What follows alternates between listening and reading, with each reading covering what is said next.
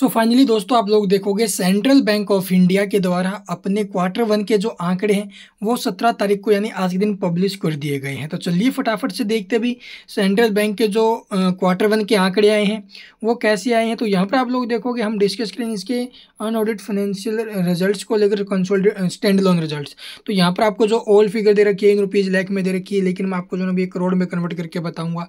यहाँ पर आपको क्वार्टर एंडेड और यहाँ पर आपको प्रीवियस ईयर एंडेड रिज़ल्ट देखने को मिल रही हैं।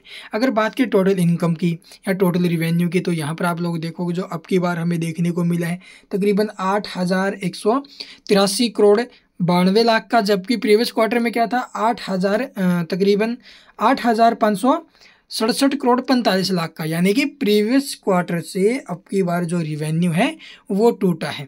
वहीं अगर प्रीवियस ईयर के सेम क्वार्टर से कंपेयर करके देखें तो वहाँ से हमें इसके रिवेन्यू में, इसके इनकम में एक अच्छी खासी जंप देखने को मिली है।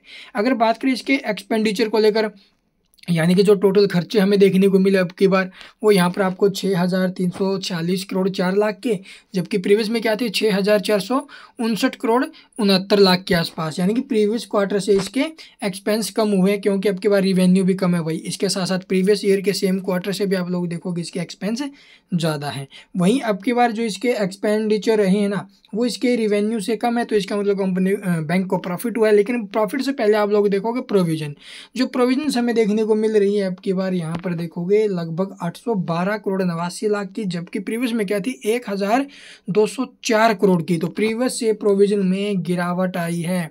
ये बहुत अच्छी बात है। जिसके चलते कंपनी का जो प्रॉफिट है बैंक का, उसमें भी हमें जो एक अच्छा खासा बढ़त देखने को मिलते नज़र आएगी। तो यहाँ पर आप लोग देखोगे जो नेट प्रॉफिट बचा है फॉर द पीरियड तो यहाँ पर तकरीबन लगभग आप लोग देखोगे चार करोड़ तिरतालीस लाख का, जबकि प्रीवियस में क्या था? पाँच सौ करोड़ का तो प्रीवियस से आप लोग देखोगे प्रॉफिट में डिक्लाइन ज़रूर है, लेकिन आप लोग जो प्रोविज़न कम होने, उसकी वजह से प्रॉफिट थोड़ा बचा है।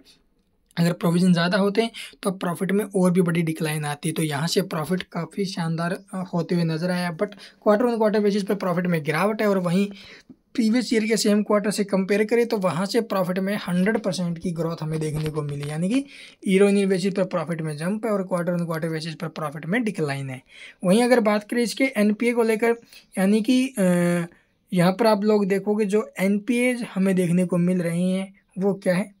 तो यहाँ पर आप लोग देख सकते हो भी जो नेट एनपीए हमें अब की बार देखने को मिले तकरीबन, वो है सैंतीस सौ सत्रह करोड़ पिछहत्तर लाख के, जबकि प्रीवियस में क्या थे? पैंतीस सौ इक्यानवे करोड़ की। तो प्रीवियस से आप लोग देखोगे इसके एनपीएम में बढ़त है। तो ये एक नेगेटिव संकेत है। भाई ये इसके रिजल्ट्स आते नज़र आए हैं। कंपनी ने कोई डिविडेंड वगैरह अनाउंसमेंट किया नहीं है। आई होप आपको वीडियो पसंद आई होगी। आप लोग देखोगे भाई क्वार्टर वन क्वार्टर बेसिस पर इसके जो प्रोविज़न है, वो घटे हैं। एनपीए में बढ़ोतरी। साथ में जो प्रॉफिट है, वो भी डिक्लाइन पर आते हुए नज़र आया है। But year on year basis पर, यानी प्रीवियस ईयर के सेम क्वार्टर से कंपेयर करें तो वहाँ से रिज़ल्ट अच्छे देखने को मिले हैं। आई होप आपको जो भी इस शेयर को लेकर डाउट थे सारे क्लियर हुए होंगे। फिर भी कुछ भी पूछना हो कमेंट में पूछ सकते हो। चैनल को सब्सक्राइब नहीं किया तो सब्सक्राइब होना मत भूलना। And thank you for watching the video